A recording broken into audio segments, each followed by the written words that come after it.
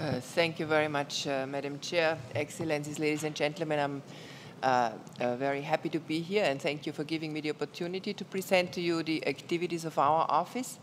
Uh, in the next 10 minutes, I, was, I will try to be, stick to the time limit, talk about two topics that already were mentioned today in the introduction, disaster risk reduction, water and climate change, all interlinked. Touch upon a few activities we undertake in the area of environment and energy, sustainable energy, and then turn to economic activities and focus sure. mainly on good governance. Uh, a longer version of the speech will be circulated, which uh, includes more topics like transport, our cooperation with the Border Management Staff College uh, or the Academy in Bishkek, uh, gender aspects of our work, and so on. But uh, as I have to be brief, I want to start with the uh, forum topic. The Swiss Chairmanship 2014 gave us a very clear focus for this year's EEF responding to environmental challenges with a view to promoting cooperation and security in the OSCE area. So the uh, topics discussed were um, human, social, economic impacts of natural disasters, uh, and assessment of how preparedness and prevention can reduce these costs and these losses. Uh, at the second meeting in Montreux in May, uh, we combined uh, in-depth discussions on disaster risk reduction including at local level, and cross-dimensional impacts of disasters. Uh, it was combined with the hands-on experience uh, shown by Switzerland with, by concrete case studies and uh, trips to the field. The concluding meeting in Prague underlined the added value of the organization in the context of global processes related to disaster risk reduction. As uh, Madam Chair mentioned, the Disaster Risk Reduction Agenda, Hyogo Framework uh, for Action 2, develop, sustainable development uh, agenda, and of course the international climate ne negotiations. Uh, one session of this meeting was also specifically devoted to assessing the lessons learned uh, uh in the wake of the devastating floods in southeastern Europe in May.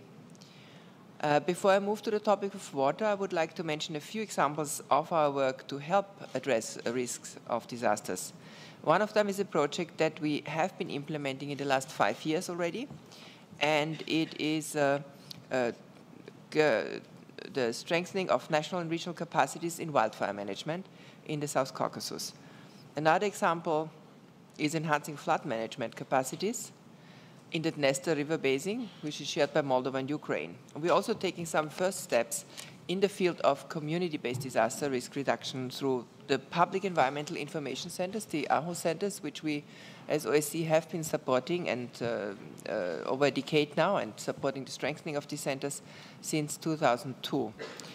Uh, with this, I would like to turn to the area of water. We have been promoting sustainable water management and transboundary water cooperation at an increasing pace this year as it is one of the priorities of the Swiss and uh, next year's Serbian chairmanship, and therefore the topic will continue to be one of our priorities. In July, we organized the Security Days event uh, on enhancing security through water diplomacy and looked at the role of the OSCE. keynote address was delivered by His Royal Highness Prince Al Hassan bin Talal of Jordan. As you might know, he was until uh, recently the chairman of the UN Secretary General's Advisory Board on Water and Sanitation and is currently the chair of the high-level forum for the Blue Peace Middle East Plan. The discussions at the Security Day confirmed the linkages between water and security, that water can be a potential source of tensions and conflict, but also a tool for confidence building and cooperation. Uh, the event provided a good springboard for us, as I mentioned, for next year's uh, discussions. Uh, the forum topic for next year, the Serbian chairmanship uh, decided on, is water governance in the OSCE area and increasing security and stability through cooperation.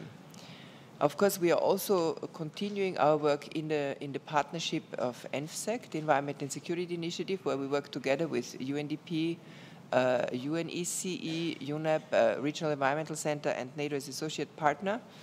Um, we will continue our bilateral and regional cooperation among countries, uh, support to this uh, cooperation, and um, to give you examples where we already are engaged in the Dniester River Basin between Ukraine and Moldova, eight years of uh, and OSCE supported uh, uh, negotiations led to the conclusion of a bilateral agreement between the two countries in uh, already December 2012.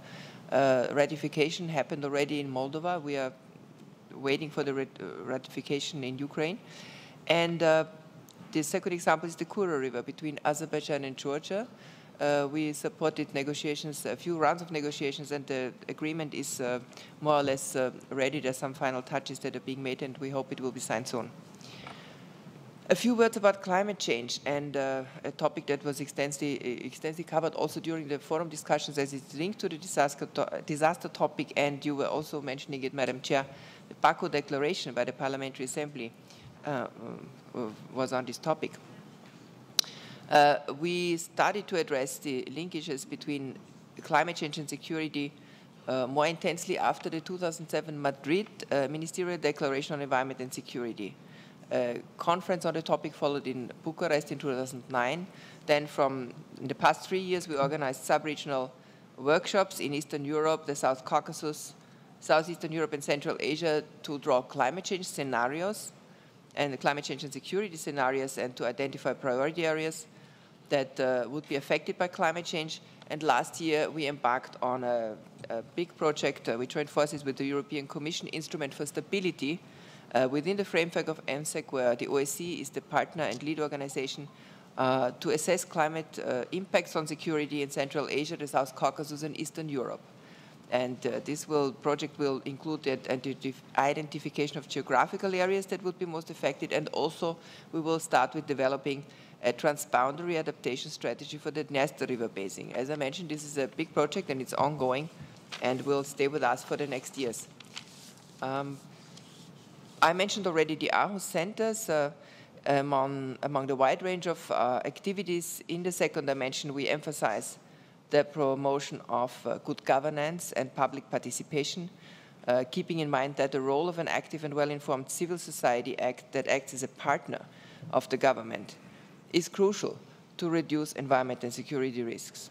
So in this light, our office has, since 2002, supported the establishment and strengthening of these centers, uh, and uh, as of today, we are supporting 14 centers, uh, 56 centers in 14 countries, so it's quite a sizable network by now. Uh, before I turn to the economic activities, a few words on our engagement regarding energy security and sustainability in the OSCE region. Here, our work is based uh, mainly in, on the two decisions, Ministerial Council decisions that were taken in Kiev last year. The first decision on improving the environmental footprint of energy-related activities, the second one on the protection of energy networks from natural and man-made disasters. Again, a topic linked to uh, this year's forum. Activities on the implementation of the first decision took uh, mainly place in the field so far. Two examples.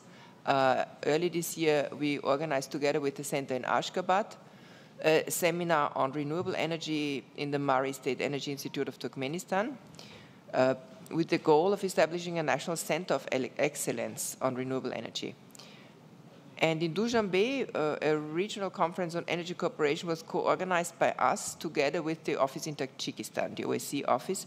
And during this conference, it was proposed to establish an energy diplomacy center in Tajikistan. This is a proposal and it still needs uh, further elaboration.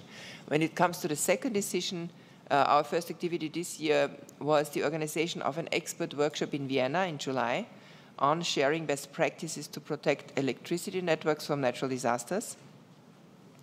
And this workshop provided participants with insights on good practices, knowledge, and experience from different countries and stakeholders across the entire process of protecting electricity networks from natural disasters. And it was also a good starting point for our next activity, which is a compilation and publication of a, of a handbook that will contain the proceedings of the workshop and some additional inputs from selected experts. Uh, with this, I would like to turn to my last topic, economic activities. Uh, as many of you know, the Dublin Declaration of 2012 uh, on strengthening good governance and combating corruption, money laundering, and the financing of terrorism uh, provides us with a comprehensive mandate to promote well-governed, transparent, and non-corrupt economies, and in turn, growth, stability, and security. Uh, our office has continued this year to provide assistance to participating states in implementing their commitments in these areas, in particular uh, those related to the UN Convention Against Corruption and the Financial Action Task Force recommendations. All our anti-corruption work we do together with the field presences. We organize capacity building seminars and assist uh, host governments uh, to strengthen participation of civil society in combating corruption and decision-making processes, particularly uh, in activities related to prevention of corruption. Uh, in June, to give you an example, we supported uh, the organization of a regional expert seminar on the prevention of corruption and looked at the main trends and examples of uh, successful practice in Eastern Europe and uh, Central Asia. Uh, this event was uh, hosted by the Albanian authorities and uh, took place in the framework of the OECD Anti-Corruption Network for Eastern Europe and Central Asia. We also supported um, field operations in, when they promote and uh, offer trainings based on the OSCE Handbook on Data Collection in support of money laundering and terrorism financing national risk assessments. This is the full title of this handbook, but it's uh, available online, and uh, I guess it is a lot clearer when you read it. Uh.